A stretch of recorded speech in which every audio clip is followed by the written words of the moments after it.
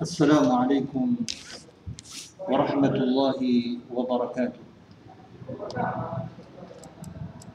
الحمد لله والصلاة والسلام على رسول الله وعلى آله وصحبه ومن والاه.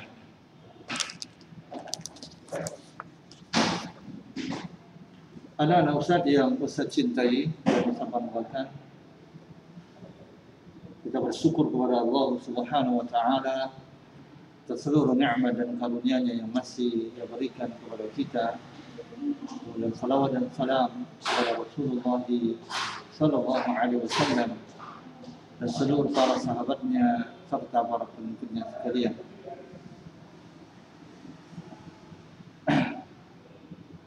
Anak Ustaz yang Ustaz cintai Semoga Allah taala melindungi kita semuanya. Kita melanjutkan kembali pelajaran kita yaitu pelajaran akhlak. Kita membaca hadis yang ke-1454. Ya, hadis yang diriwayatkan dari sahabat yang mulia Abdullah bin Amr bin As radhiyallahu anhuma. Dari Nabi sallallahu alaihi wasallam dia bersabda, "Ridallah ridha fi ridha walidain. Keridhaan Allah itu berada pada keridhaan kedua orang tua. Wa sukhtullahi dan kemurkaan Allah fi sukhtil walidaini. Itu berada pada kemurkaan kedua orang tua. Ya, tergantung kepada kemurkaan orang tua.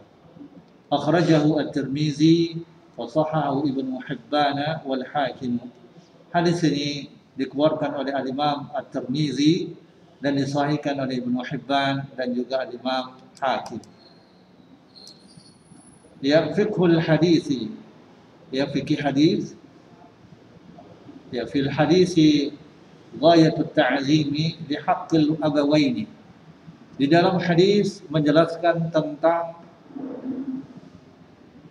ya besarnya pengagungan, pemuliaan terhadap hak kedua orang tua. Faqad ja'ala ridallah ki mutawaqqifan wa murtabitan bi ridwanihima. Maka sungguh hadis ini telah menjadikan keridhaan Allah itu tergantung terkait dengan keridhaan kedua orang tua wa sukhtullahi bi sukhtihima dan kemurkaan Allah Subhanahu wa taala itu tergantung terkait dengan kemurkaan keduanya. Wa balagha fi dzalika fi at-ta'biri bi fi ad-dallatu 'ala ad-dharfiyyati والمذروف وهو رضا الله لا يوجد إلا في ظرفه وهو رضا الوالدين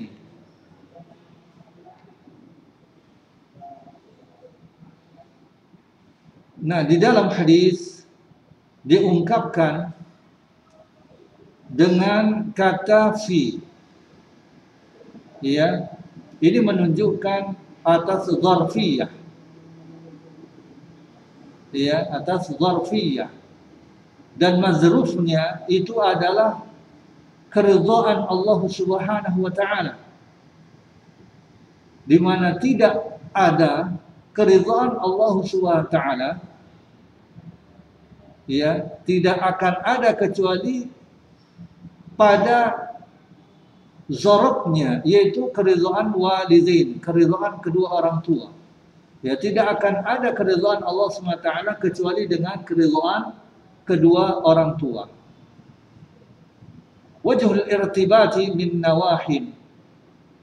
Ya, sisi keterikatan, keterkaitan keridhaan Allah Subhanahu wa taala itu dengan keridhaan kedua orang tua itu dapat dilihat dari beberapa sisi min nawahin ya bisa dilihat dari beberapa sisi. Minha di antaranya annahu ta'ala amara bi birril walidaini wa ikra mihima. Di antaranya adalah Allah Ta'ala memerintahkan untuk berbakti kepada kedua orang tua dan memuliakan kedua orang tua. فمن امتثل أمر الله بذلك فقد بر الله وعظمه maka siapa yang mentaati perintah Allah itu maka sungguh dia telah ya berbakti ya dan mengagungkan Allah tabaraka wa taala. Faradiyallahu anhu maka Allah pun ridha kepadanya. Wa man khalafa amra Allah ghadiba alaihi dan siapa yang menyelisihi perintah Allah maka Allah Subhanahu wa taala akan murka kepadanya. Wa minha dan di antaranya sisi keterkaitan antara keridhaan Allah taala dengan keridhaan kedua orang tua adalah annahu subhanahu qarana haqqal abawaini bihaqqihi fi ayatin. Di antaranya adalah bahwa Allah tabaraka wa taala ya telah menyertakan hak kedua orang tua itu dengan hak Allah pada beberapa ayat. Ya, pada beberapa ayat. Kaqaulihi ta'ala seperti firman Allah tabaraka wa ta'ala dalam surah An-Nisa ayat 36 Wa'budullaha wa la tusyriku bihi syai'an wa bil walidaini ihsana dan beribadahlah kepada Allah semata dan janganlah kalian menyekutuki menyekutukannya dengan sesuatu apa pun dan berbuat baiklah engkau kepada kedua orang tuamu. Wa qala aidan dan juga Allah tabaraka wa taala berfirman wa qada rabbuka alla ta'budu illa iyyahu wa bil walidaini ihsana. Dan Tuhanmu memerintahkan janganlah kalian beribadah kecuali hanya kepada Allah semata dan berbuat baiklah kepada kedua orang tuamu afada zalika irtibata haqqil abawaini bihaqqillahi ta'ala. Ya. Ayat ini memberikan faedah akan keterkaitan ya, keterkaitan hak kedua orang tua dengan hak Allah tabaraka wa ta'ala. لكن هذا الحكم مشروط بألا يكون مطلوب أبي أو الأم خارجا عن سبيل المتقين akan tetapi hukum ini perkara ini keterkaitan antara keridhaan Allah dengan keridhaan orang tua itu dipersyaratkan ya agar supaya ayah dan ibu dituntut untuk tidak keluar dari jalan orang-orang yang bertakwa. Artinya tidaklah keluar dari uh, syariat Allah Subhanahu wa taala. Wa illa faridha Rabbi fi hadhihi al-hali fi mukhalafatihi. Dan apabila persyaratan ini tidak dipenuhi oleh ayah dan ibu, artinya perintahnya maupun larangannya itu bertentangan dengan syariat, maka keridhaan Allah Subhanahu wa taala dalam keadaan ini itu adalah menyelisihi ya, menyelisihi daripada keridhaan orang tua. Tahqiqan lil qa'idati al-majma'i 'alaiha la ta'ata li makhluqin fi ma'siyatil khaliqi. Dan ini adalah uh, dengan apa namanya kaidah yang telah disepakati dan ini adalah merupakan hadis Nabi sallallahu alaihi wasallam ya sebagai penerapan terhadap kaidah yang telah disepakati ini yaitu tidak ada ketaatan kepada makhluk di dalam bermaksiat kepada Allah Subhanahu wa taala sang Maha Pencipta. Ya, ini dia. Kemudian kita lanjutkan kembali hadis yang ke-1455 yaitu hadis Anas bin Malik radhiyallahu anhu dari Nabi sallallahu alaihi wasallam dia bersabda La yu'minu 'abdun hatta yuhibba li jarihi aw qala li akhihi ma yuhibbu li nafsihi muttafaqun alaihi Demi jiwaku yang berada di tangannya Tidaklah seorang hamba sempurna keimanannya sehingga dia mencintai tetangganya atau Nabi SAW bersabda hingga dia mencintai saudaranya apa-apa yang dia cintai untuk dirinya. Ya, hadis ini disepakati oleh Imam Bukhari dan juga Imam Muslim. Ya, asyarhu wal istimbatu penjelasan hadis ini dan istimbat. Ya, dan istimbatnya. Al-awwal inna mahabbatal muslimi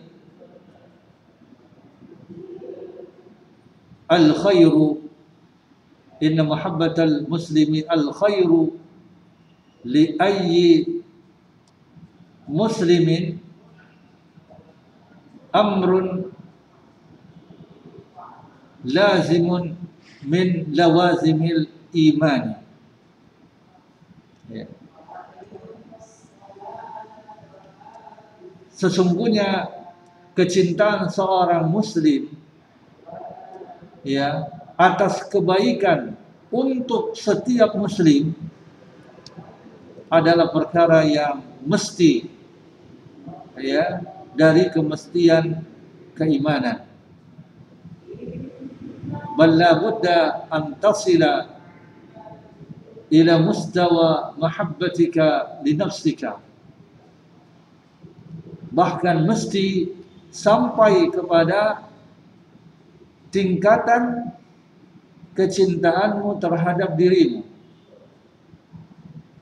Liannahu 'allaqa 'alaihi sifat al-imani dikarenakan dia Nabi SAW telah menggantungkan padanya sifat keimanan. La yu'minu tidaklah beriman. Hatta yuhibba sehingga dia mencintai wa zada dzalika quwwatan biqaulihi dan ditambahkan dengan penguatan sabdanya akhihi saudaranya yaitu saudaranya fil iman. Ay fil iman yaitu saudaranya yang seiman. Wa syamula kullal muslimina rijalan wa nisaan. Dan saudaranya ini yang seiman ini mencakup seluruh kaum muslimin laki-laki maupun wanita. Wa makna la yu'minu tidak dan makna tidaklah beriman ya huna annahu yanqusu katsiran idza lam tatahaqqaq bihadhihi sifah ya makna daripada la yu'minu tidaklah beriman di sini maksudnya adalah berkurang banyaknya keimanan tersebut apabila dia tidaklah merealisasikan sifat ini. Ya tidak mewujudkan sifat ini. Yubayyinu zalika uh, riwayatul Imam Ahmad ya. Dan hal itu dijelaskan oleh riwayat Al-Imam Ahmad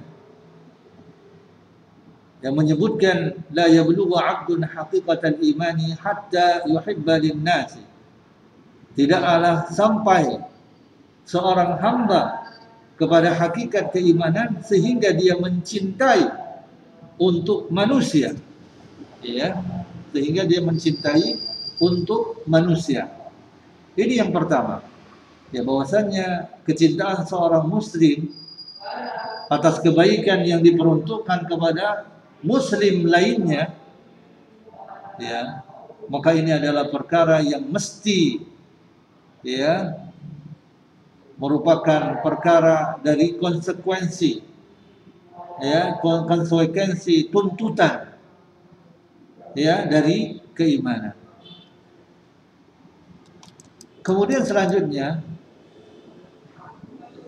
Asani yang kedua yajibu alika an tad'a imanaka 'ala al-ikhtibari wifqa hadha al-mi'yari wajib bagimu untuk meletakkan imanmu di atas pengujian ini. Ya. Disesuaikan dengan uh, takaran ini. Wa tujahidu wa tujahida nafsaka hatta tujarridaha min ananiyatiha engkau berjuang pada dirimu hingga engkau menghilangkan sifat keakuan fatuhibba likulli mu'minin ma tuhibba ma tuhibba li nafsika sehingga engkau mencintai setiap mukmin apa-apa yang engkau cintai untuk dirimu. Wa innaha bihadhihi al-khaslati kamalul imani. Maka sesungguhnya ini adalah merupakan unsur kesempurnaan iman wa qiwamu ummatil Islam dan uh, merupakan penopang penyangga umat Islam. Ya. Kemudian salisan, yang ketiga, as-salis al-hasu ala salamati sadri min al-ghilli wal-ghish wal-hasadi ala wajhil kamal. Ini menyebutkan tentang al-hasu anjuran untuk berlapang dada. Ya. Berlapang dada dari sifat al-ghil ya. Dendam. Ya dengki. Kebencian. Dan al-ghish. Ya. Wal wal ghish ya. dari penipuan. Muslihat kecurangan. Ya. Wal ghish hasadi dan hasad dengki ya ala wajhil kamali ya dengan apa namanya ala wajhil kamali dari sisi uh, kesempurnaan. Fa innaha tu'arizu mahabbat al-insani li ghairihi ma yuhibbu li nafsihi min al-khair. Ya. Perkara ini adalah aradha. Ya. Aradha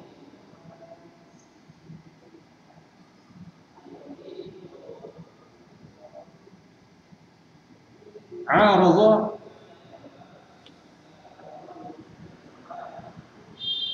artinya adalah bertentangan. Ya, ya menyalahi.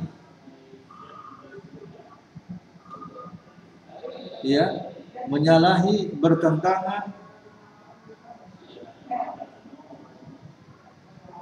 Atas mahabbatal insani kecintaan seseorang li kepada orang lain apa-apa yang ia cintai untuk dirinya berupa kebaikan. Fajhad ala tathhiri qalbika. Maka bersungguh-sungguhlah engkau untuk menyucikan hatimu minha darinya yaitu dari al-ghil dari al-ghish dan al-hasad. Ya. Fa innal imana yujibu salamata sadri minha. Karena keimanan itu mengharuskan atas selamatnya jiwa. Ya selamatnya jiwa dari sifat ya ghil ghish dan al hasad ya dari sifat al ghil al ghish dan al hasad nah inilah hadis yang ke 1455 ya anak Ustaz yang saya cintai. Kemudian selanjutnya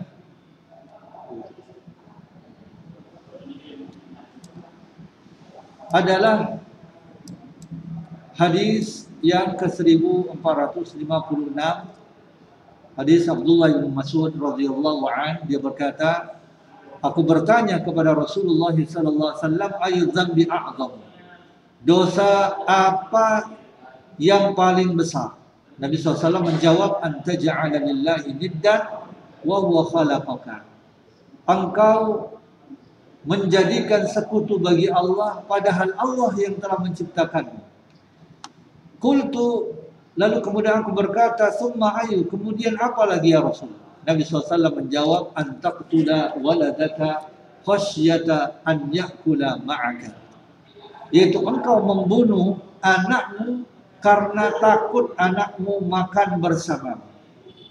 Kemudian aku berkata lagi, Summa ayu. Kemudian apa lagi ya Rasul? Nabi SAW mengatakan antuzaniya halilata jarika. Engkau berzina dengan istri tetanggamu ya. Ini hadis yang dikeluarkan dikeluarkan oleh Imam Bukhari dan Imam Muslim. Asyar wal istimbat penjelasan dan istimbat hadis ini. Yang pertama ahamniyatul bahsi an umurid dini wa ma yadurru fid dini wa huwa wajibun ala kulli muslimin bil ijma'i likai yajtanibahu al muslim. pentingnya pembahasan mengenai perkara-perkara agama dan apa-apa yang dapat membahayakan agama. Ini adalah wajib atas setiap muslim dengan ijma, dengan kesepakatan ulama agar supaya seorang muslim itu dapat menjauhinya. Kemudian sanian yang kedua adalah antaja'ala lillahi niddan wa huwa khalaqaka ay naziran. Ya, yang kedua adalah engkau menjadikan untuk Allah sekutu. Padahal Allah adalah yang telah menciptakan. Ya, Ain Nazirat, Niddan adalah sekutu. Ya. Wahwa dalilu ala anna a'zamil ma'asi ala anna a'zam anna a'zamal ma'asi asyirku billahi ini adalah dalil bahwasannya sebesar-besarnya maksiat adalah berbuat syirik kepada Allah. وقد اشتمل الحديث على إقامة البرهان لإبطال الشرك بقوله وهو خلقك dan hadis ini ya mengandung ya penegakan hujah atas pembatalan kesyirikan dengan sabda Nabi wa huwa khalaqaka dan dia itu menciptakanmu.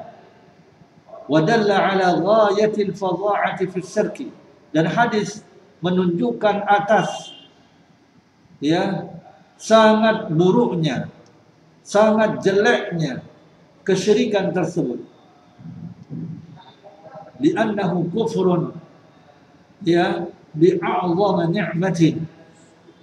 Hiya ni'matul ijadi wal khalqi dikarenakan adalah dia adalah kekufuran terhadap nikmat yang sangat besar yaitu nikmat ya diadakannya dia diciptakannya dia Kemudian salisan yang ketiga an taqtula waladaka khasyata an yakula ma'aka. Engkau membunuh anakmu karena khawatir dia makan bersama. Wa ma'na qawluhu qawluhu ta'ala wa la taqtulu auladakum khasyata imlaqin. Dan janganlah kalian membunuh anak-anak kalian karena takut miskin. Imlaq artinya fakrin, kefakiran. Wa fihi fadha'atu jarimatil qatli bizatiha ya dan di dalam uh, hadis ini menjelaskan tentang buruknya kejahatan pembunuhan ini ya wajari wajari mati qat'ir rahim dan kejahatan memutus tali silaturahmi wa qaswatil qalbi dan kerasnya hati wa in'izamil rahmah dan tidak adanya kasih sayang. Wal ya'si min rahmatillah dan berputus asa dari rahmat Allah ya an yarzuqa al abu di mana uh, an yarzuqa al aba yaitu di mana rahmat Allah dalam memberikan rezeki kepada sang ayah. Wa ghair zalika mimma yaj'alu hadha thaniya asyirki billahi. Dan selain daripada itu yang menjadikannya itu dosa yang kedua. Setelah uh, melakukan kesyirikan kepada Allah Subhanahu wa taala karena membunuh kepada anak sendiri ini adalah merupakan dosa pembunuhan yang paling terburuk. Yang keempat adalah antuzania halilata jarika, yaitu engkau berzina kepada istri tetanggamu. Aitu hawila az-zina bimratil jari, ya, yaitu berusaha untuk melakukan zina dengan istri tetangga. Ya. Sumiyat halilata di annaha tahillu ma'ahu. Dia disebut dengan halilah ya. Dikarenakan dia itu bertempat tinggal dekat bersama dengan dia. Wakila antazniya dan dikatakan uh, engkau berzina. Ya kalimat hadis yang lain dikatakan antazniya yaitu engkau berzina dan semisal dengannya adalah anak perempuan tetangga dan saudara perempuan tetangga. Ala. Dan ini uh, menunjukkan akan cakupan dari kekejian uh, perbuatan ini ya dari beberapa bentuk kekejian. Ya fahisatu zina bizatiha ya atas kejinya berzina ya terhadap istri tetangga tersebut. Wa fahisatul iza'i lil jari dan kejinya menyakiti tetangga. Wa wan munafil lil imani ini adalah perkara yang dapat menafikan keimanan wa hadza a'zamu adzan lahu. Dan ini adalah bentuk gangguan yang sangat besar terhadap tetangga. Khianatun uzma di amanatin uzma. Dan ini pengkhianatan yang besar terhadap amanah yang besar juga. Fa innal jara mu'tamanun ala harimi jarihi. Di mana tetangga sesungguhnya tetangga itu diberikan uh, kepercayaan ya atas kehormatan tetangganya Waman adza jarahu bihadza la amanata lahu. Maka siapa yang menyakiti tetangganya dengan perbuatan ini maka sungguh dia tidak ada amanah baginya. Wa qad sabata al haditsu sungguh telah sabit di dalam hadis la imana liman la amanata lahu tidak ada keimanan bagi orang yang tidak amanah. Kadzalika fihi mafsadatun mafsadatu istimalatil mar'ah ya. Istimalatul mar'ah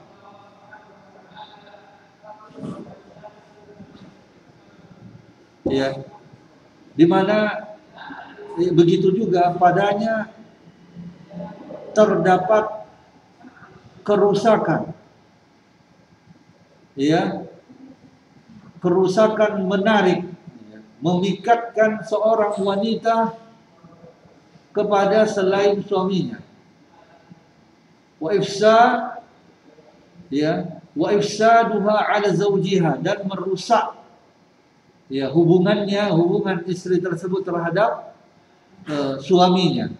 Wa mal'unun man fa'ala zalika dan sungguh terlaknat orang yang melakukan yang demikian. Iyazan billahi ta'ala dan kita berlindung kepada Allah azza wa jalla. Ya lah Ustaz yang Ustaz cintai mungkin ini saja yang bisa Ustaz sampaikan. Insyaallah nanti ke depan kita akan melanjutkan kembali yaitu hadis yang ke-1457 Wassallallahu ala nabiyina Muhammad wa ala alihi wasallam Wassalamualaikum warahmatullahi wabarakatuh